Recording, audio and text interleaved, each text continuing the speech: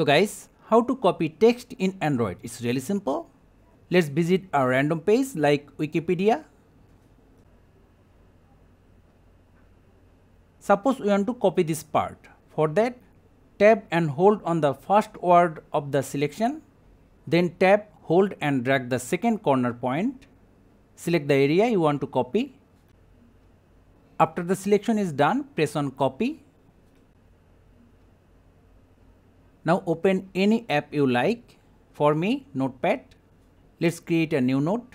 Tab on the text section. See, it's already suggesting us the copied text. To properly paste the text, tab and hold on the insert text indicator. Then just tab on paste and we are done. So thank you guys for watching. Have a good day.